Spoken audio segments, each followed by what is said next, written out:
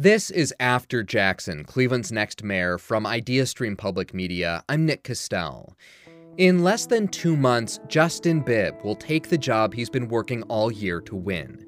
Between now and then, he has to name transition leaders, hire cabinet members, and figure out how he wants to run city government. He's met with Mayor Frank Jackson and spoken with city council members. The mayor elect came by our studios early in the morning last Thursday to talk about the transition and to reflect on the campaign that carried him to City Hall. That campaign earned him a first place spot in the primary and a blowout victory in November. And that is where we started our conversation.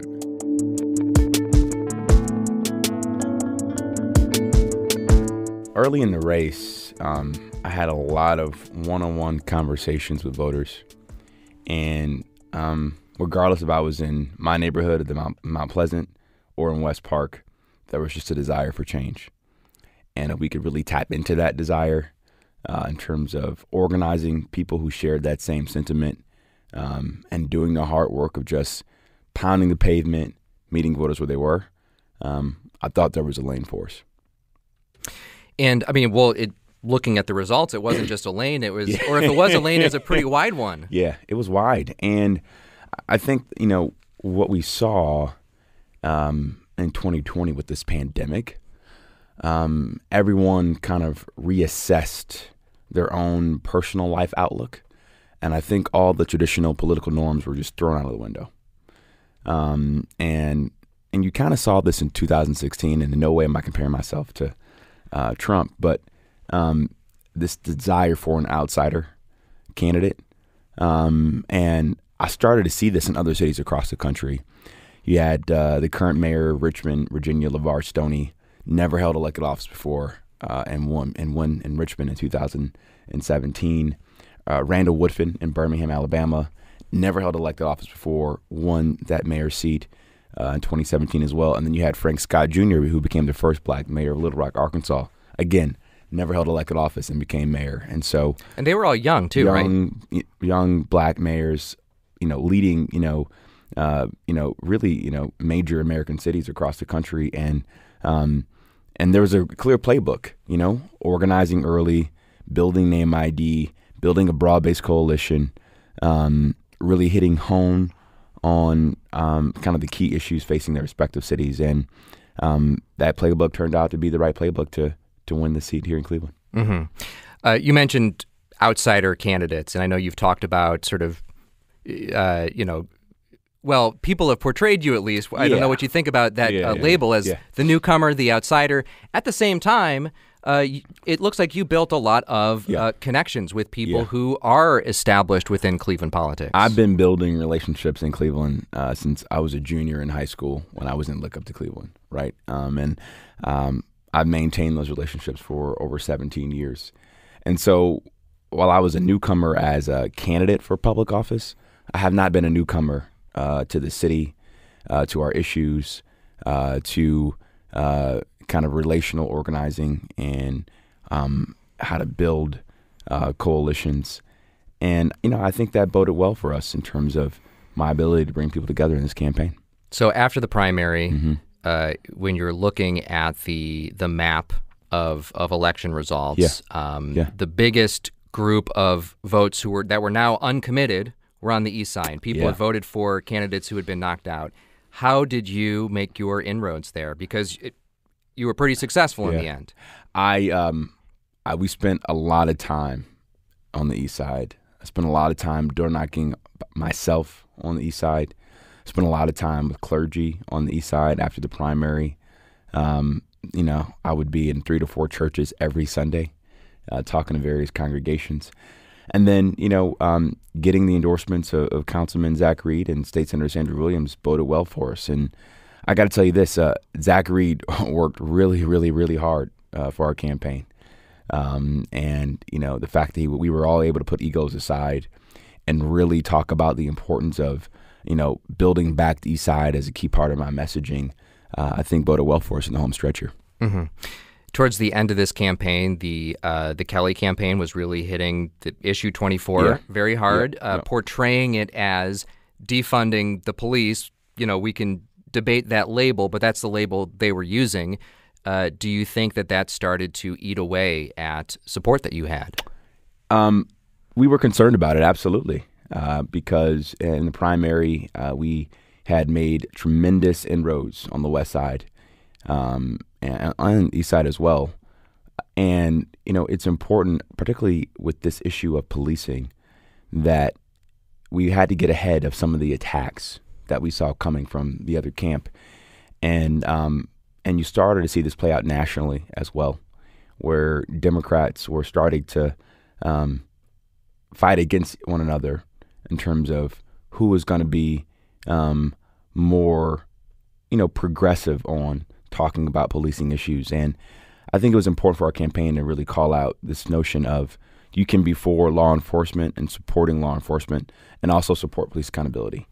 Uh, they are, you know, two different issues on the same coin, uh, and it's important that we do both. And this rhetoric around defund the police was complete nonsense. Uh, it's the worst label in American political history. I said that in the Washington Post. Um, and um, I think when I was on doors talking to voters, they understood. Um, and I'm really happy we hit the pavement hard and got our, we were really proactive in getting our message out there. Mm-hmm. I think that gives us a point to look at talking about the transition here. Uh, yeah. One of the one of the things that you will have to accomplish now when you get into office is uh, seeing issue 24 through, mm-hmm. seeing how mm-hmm. you set this up. Um, one of the issues will be trying to talk to the safety forces about what this means for their jobs. Yeah. How are you going to have that conversation? Well, um, first thing I need to do is listen. Um, listen to um, the concerns and, and recommendations and, and, perspectives from our leadership at the police union. Uh, listen to the concerns and, and, ideas and thoughts from uh, our command staff, uh, and listen to the concerns of uh, you know our, our, patrol officers walking the beat. And um, I intend to, to fight hard to support our police officers, to give them the pay they deserve, to give them the equipment they need to do their job. Uh, and my whole goal, my whole goal is to create a police department that my father would be proud of. Uh, and at the end of the day, that's a department that respects our residents, that fights crime, that's accountable, um, and getting back to the old motto of uh, we, we, they are there to protect and serve, protect and serve, and uh, that needs to be the mandate for the future.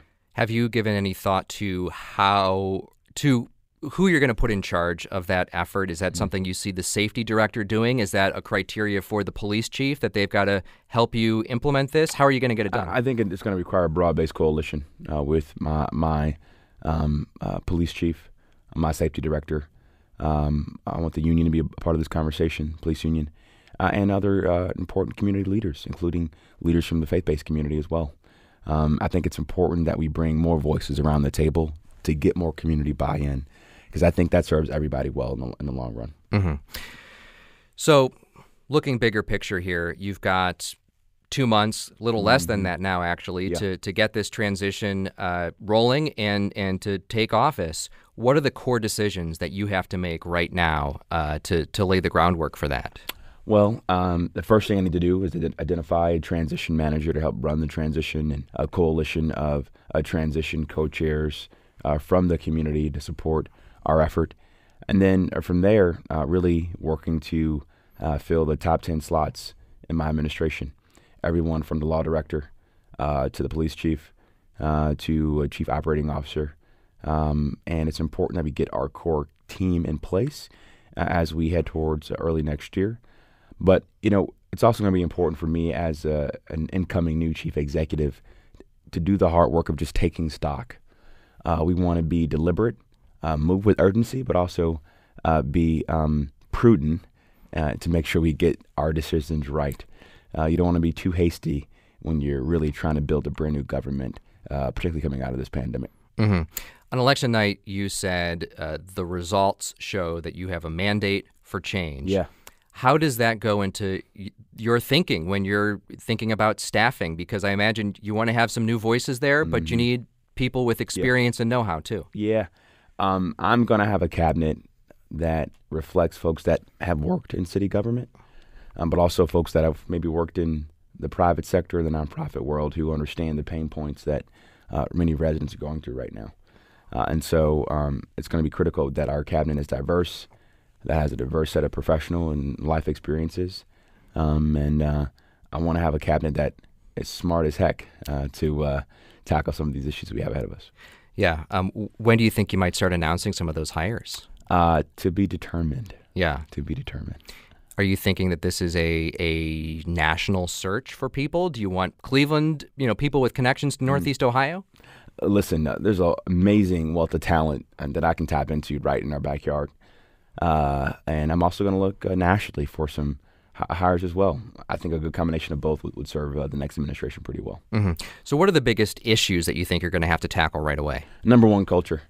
Um, I, I, talked about the importance before about taking stock of the organization, of the organizational health of City Hall, and um, I intend to do a lot of lunch and learns, uh, spending my mornings at the service garages, um, spending some mornings in the snow plows, talking to frontline City Hall employees spending a morning picking up trash uh, and figuring out what's going on with trash collection, um, and spending some time in the call center for the mayor's action line, uh, so that I, as the chief executive, understand how do we put our residents first and really build a resident-centric approach to how we uh, serve our, our, residents in terms of uh, procuring basic city services.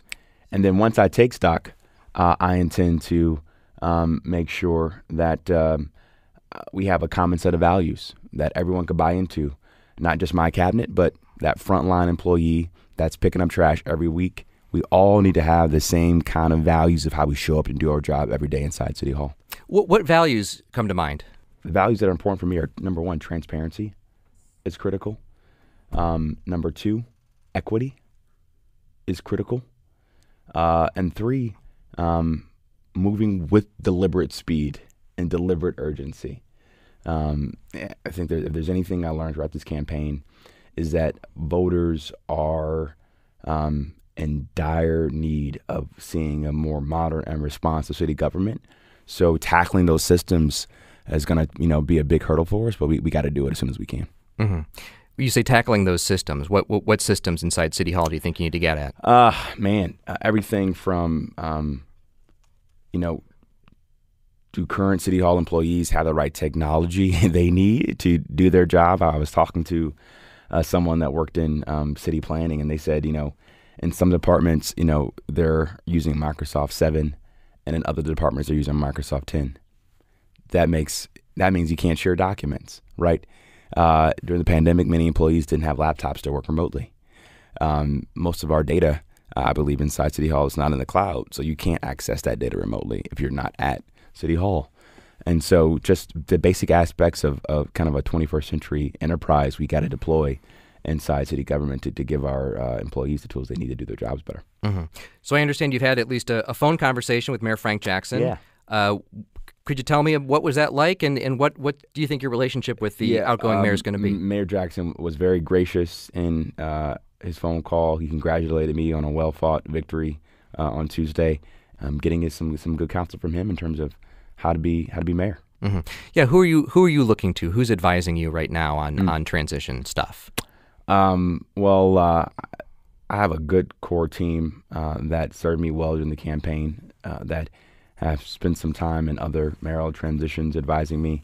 I've also have a good network of other mayors across the country that I get good counsel from uh, around um, leading the transition. And then I've also had a lot of productive conversations with uh, chief of staffs of other mayors across the country as well in terms of some of the best practices around leading a mayoral transition. So I understand. I think you you, you mentioned this uh, in an interview with WKYC. You've got to do some fundraising too. I do. I do. Um, you know, we're going to need to raise some resources to support staff, uh, to support um, uh, various studies around um, how we build a, a, city government for the future. Uh, and uh, yeah, we're going to have to raise some capital in order to do that some studies. What do you want to? Are you going to look for what some sort of consulting studies or something, looking well, at how to um, how to get in there? You know, I, I, talked all throughout the campaign about doing a top down review of every department, uh, and then um, really doing a you know a deep dive on uh, public safety. Uh, it's going to be critical, um, and so we we want to make sure we have all the resources we need to really build a a thoughtful, prudent, effective transition to give us a good uh, foundation going into uh, the new administration uh, in January. Mm-hmm. Yeah. What what questions do you want to ask in this process about public safety? Mm. one, um, I really want to understand from law enforcement kind of what they really need. What are their core pain points? What are their challenges? What does a good culture look like for them? Um, and then marry that with what we're hearing from the community and see where the where the common alignment is. I also think, and, and I had this conversation with um, Jeff, Jeff Scott over at the Boys and Girls Club and Myesha Crowe, who runs uh, the Peacemakers Alliance. You know, one of their frustrations is that we don't have a comprehensive uh, public safety plan in Cleveland. That's a major pain point. Uh, that's community oriented and bottom up, and that's something I intend to pursue uh, uh, next year in our first 100 days. Mm-hmm. Okay, so uh, public safety one key priority. Mm-hmm. Um, anything else that is that is really top of mind for you? Well, I talked about the importance of just having a modern and responsive city hall. So getting our city operations in place um, and, and, getting some momentum there, um, and then thirdly, um, making sure we can maximize the money we're getting for President Biden. You know, well, still to be determined to see how council and this mayor um, uh, come to terms on how to spend this first round of capital. Um, and um, you know, if they don't spend the money, then I'll have I'll have all 512 to, to myself to spend. And uh, I've laid out a, a, really, I think, smart set of priorities around how, how I would spend that money long term. Perfect transition to where I wanted to go next. Actually, uh, this ARPA money, the first half of it is here. Yeah, and uh, you know we are now at a point where it could be spent during this lame duck uh, yeah. session. Uh, should the city wait until there is a new mayor? Listen, um, we only have one mayor at a time. We only have one council at a time. So it's important that um, we, you know, allow the existing government to make the decisions they want, and um, you know, I'll leave it up to them to make that call. But um, if the money is not spent, then uh, I intend to execute my vision as a new mayor. And what is your vision? Well, uh, I brought this up in the early days of this campaign when we found out we were going to get this money from President Biden that I wanted to create an office of economic recovery uh, that would work with our foundations and CDCs and uh, banking partners to find a way to leverage that capital and turn that 512 million to a couple of billion long term. Uh, but my four concrete priorities are around number one, uh, direct neighborhood revitalization, particularly in the southeast side. Uh, number two, uh, public safety, uh, paying our cops more, making sure we fully fund violence interrupter programs at the neighborhood level. Three, truly investing in having a modern city hall, what I call City Hall 2.0. And then four, uh, really, you know, s- supporting investments around digital equity and, and, lead paint to make sure we get some real change on those structural issues. Mm-hmm. The lead paint issue is is a big one. Yeah. I mean, the city now has a lead safe law. It just yeah. has to make it work. Yeah. And it seems like one of the big issues is getting enough inspectors to actually go out and do that work. Uh, do you have any thoughts on how you can how you can turn the tide on that? Well, we have to, you know, really change the culture and the efficiency of our building and housing department uh, and beef up the cadence in terms of how to do their job. Uh, and then um, I intend to appoint a lead czar in my administration that will work across every single department uh, to make sure that City Hall um, across every um, aspect of city government is working to fight lead paint, the lead paint crisis, and supporting those respective community uh, organizations around that. Mm-hmm. So the organization of, of City Hall yeah. is, is one issue. You know, the health department right now is in the uh, underneath the mayor's office of, of you know youth intervention, yeah. violence prevention. Yeah. Do you think that you need to reorganize? I'm gonna have to revamp a lot of the org chart. Um, now it's gonna take some time to understand um, what moves are going to make sense. But um, as I look at it right now, there's going to be need, need, to be a lot of change around that. Mm-hmm. Um, any particular ideas for what what kinds of changes are needed? Well, one thing I'm really keen on looking at is um, kind of this chief resident experience engagement um, kind of office or officer that really focuses on making sure that when you call City Hall, that we track down your complaint and resolve your complaint, um, that you can access city data easily, and that we have a, resident centric approach to how we design and procure city services. And that's something I get really excited about doing. Mm-hmm. Um, what kind of relationship uh, do you would you say you have right now with the business community yeah. in Cleveland? Yeah. And and what kind of relationship do you want to have as mayor? I'd say I have a, a really good, solid relationship with the business community, um, and I intend to you know work with the business community to um, you know advance the economic recovery of our city coming out of this pandemic. Uh, there's some talent I intend to poach uh, from the business community for my administration as well too. Um, but um, you know, it's going to be productive. We all, we won't always agree on everything, but it'll be a productive relationship. Does that talent know you're you're looking to poach them? Probably not yet, but I'm coming. I'm coming. Um, so you know, one of the things that uh, is actually another unresolved issue at the moment is this progressive field mm-hmm. deal. Um, I, I know we've had some hearings yeah. on it. It's not it's not fully approved yet.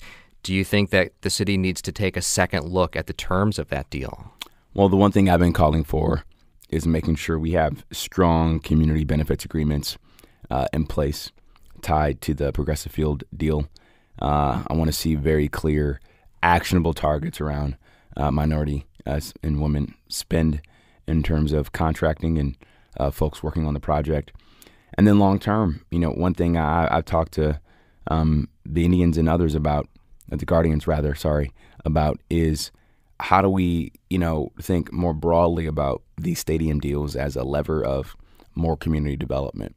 And you have good models with the Minnesota Vikings Stadium and what the Atlanta Falcons did, where you know they really leverage those investments to spur more community development. We need to see more of that in Cleveland when we look at these deals long term. Mm. And when you say community development, like what do you what do you have in mind? Well, so what the Haslam family is looking to do is beyond just you know uh, creating a new Brown Stadium or revamping Brown Stadium. They, they want to tie it to lakefront development, which supports and will help um, more residents beyond just folks that want to go to a Browns game and uh, really looking at the geographic area around Brown Stadium as a key part of the investment.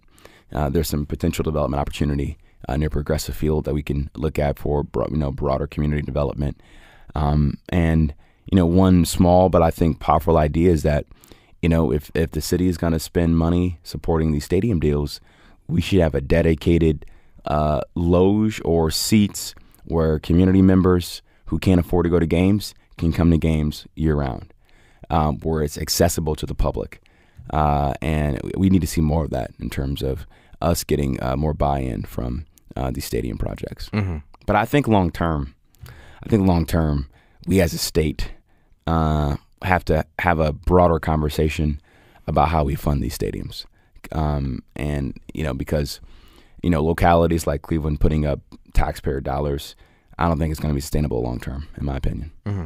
One other issue I wanted to ask you about was public transit. Mm-hmm. You, uh, uh mayor doesn't directly run RTA, yeah. but you get to make appointments to the board. I do. Uh, what do you want? What priorities or values do you want those appointments to have? Yeah, well, um, I want to appoint folks who actually ride RTA, who are customers of RTA, to provide real time feedback on what's working, what's not working.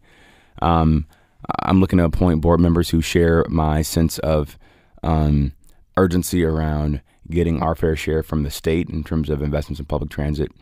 And then long term, we need to work with the G- with GCP and other key stakeholders, including the leadership at RTA, around are there some alternative funding models we need to explore locally to support our transit um, uh, issues we have in the city. I know Toledo and Cincinnati have made some great strides around that. And so it's past time we look at some different funding models in Cleveland to really address our transit needs. Mm-hmm. The one that you've mentioned on the campaign was the smart parking mm-hmm. meters. Are there other uh, sources of revenue that maybe could bring in more money that you would want to look at? I'm not exactly sure yet. Um, but, um, you know, I think the smart parking meters is a novel idea although it may not solve the entire financial issues, it's a positive step in us being creative about some of these uh, public policy issues. Yeah. I think you referred to it before as sort of a, a low hanging fruit thing that you could yeah. just get done to yeah. give people faith that government is working. Absolutely. What are some other things that you think the city can do right away that maybe aren't that hard that would make a change? Well, removing those Jersey barriers out of public square. I want to do that as soon as I can. Um, protected bike lanes, having a robust bike lane network in Cleveland uh, traffic calming, particularly in you know um, black and brown neighborhoods in, in, in Cleveland, where we see a, a, large number of pedestrian deaths. Um, you know, making sure that our um, uh, public spaces are well activated and programmed. You think about all the malls we have downtown, mall A, B, and C, and you know, unless there's a major event, we don't really activate those assets well enough, um, and things like that, where we can really leverage the, you know, the power of City Hall to invest in the built environment of the city long term. Mm-hmm. Is there anything else at this point I haven't asked about you think is really is really on your mind right no. now? Is really sort of you know something that's well, keeping you up I, right now? I, nothing keeping me up. I, would say it's important to reflect, take a little bit of time to reflect on this amazing, crazy campaign we experienced. And you know, I said this in my victory speech on Tuesday that I think um, this mayor's race made our democracy better in Cleveland. It was a competitive campaign. Um, everyone made me a better man and a better candidate throughout the process. And so I want to just thank all the candidates again for uh, their valiant effort throughout throughout this campaign. And now we must all come together to um, make our city one of the best cities in the world. I'm actually glad you mentioned that because it reminded me I did want to ask about voter turnout. Mm. Uh, I know you worked really hard to get voters out, and you got a lot of people out to vote for you. On the whole, it looks like the needle did not move that no. much in overall turnout. What do you think is going on there? It's a lo- this is a long-term systemic issue we have to address that won't be solved in one election cycle. Uh, and I'm going to continue to say this: the best thing I think we can do to increase voter turnout long term is to prioritize talking to voters when it's not election season. Um, and so you're going to see me doing door knocking as mayor. Uh, you're going to see me having cabinet meetings in the neighborhoods. Uh, people have to feel the office to know why their vote really matters. And I think that's one thing we can do to increase voter turnout long term.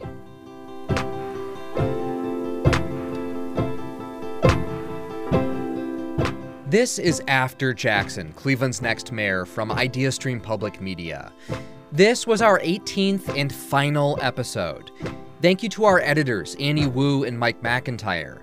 Thank you to Drew Mazius, who composed our opening and closing themes. Thank you to all the journalists who contributed reporting. Thank you to our digital team for crunching listener numbers. Thank you to our marketing team for spreading the word about this podcast, especially Callie Andrus. Way back in January, Callie sent an email to our online office suggestion box saying, and I quote, a podcast or video series about the upcoming Cleveland mayoral and city council races, unquote.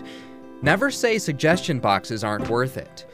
But especially thank you, our listeners, and the voters of Cleveland. Before we go, we'd like to know what you thought of this project. What worked for you? What didn't work? What do you want us to cover in the future? Email me at ncastele, that's N C A S T E L E, at ideastream.org. And if you like the work that we do, please consider supporting independent journalism here at IdeaStream Public Media. Go to ideastream.org slash donate. I'm Nick Castele.